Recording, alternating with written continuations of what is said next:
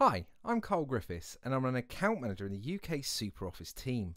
Today, I'll be covering our web forms feature in SuperOffice. This amazing feature allows you to create professional looking web forms, to start conversations and harvest more leads.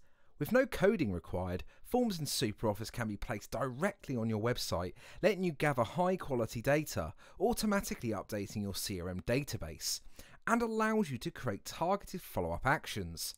Similar to mailings, we have a great template library to choose from. However, if you did want to create from scratch, this is also possible. Forms can be used in a wide variety of areas, such as order forms, sign up to events, gathering customer feedback, or the more typical contact us form. Let's have a look at creating a web form. This feature is very easy to navigate, and as you can see, we have a few tabs we can utilize.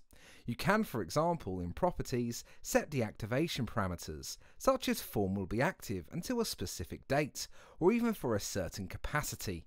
Maybe you want to use this for a physical event with only X amount of seats available.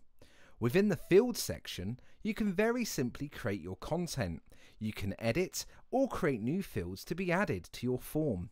We have many SuperOffice elements available, so when your form is completed, it will in fact automatically update in SuperOffice. You can change the style and look of the form. We also have the ability to add double opt-in to avoid spam and additional pages to cover a thank you message upon completion or to send a particular message when the form is inactive. Now your form is all ready to go, what do you want to happen when it's completed? Within Actions, you can choose from multiple activities to happen upon form completion. This could be creating a support or sale request via the SuperOffice Service module, or adding a contact to a SuperOffice selection or project. You can even execute scripts if you have our development tools license.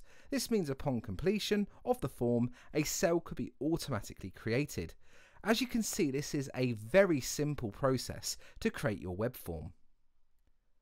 Once the form has been sent, it is extremely efficient for managing your submissions.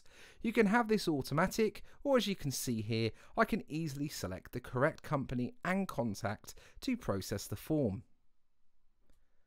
The last thing to show you today is you can also check the success of your web form and access specific reporting if required. Within this area, you can access multiple publishing links, dependent on requirements, reporting, and also see any new submissions that may come in that need processing. I hope you have enjoyed this short video about the web forms in SuperOffice. If you would like to learn more, you can contact your account manager directly. Thank you again for watching my favourite feature of SuperOffice. Have a great day.